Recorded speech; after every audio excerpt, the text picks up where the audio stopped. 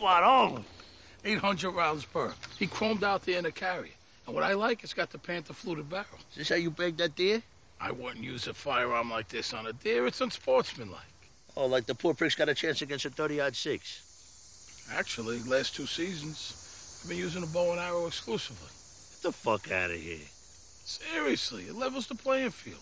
The AR-10, it's my birthday present to you. Thanks, Bobby. Don't say shit to Carmela.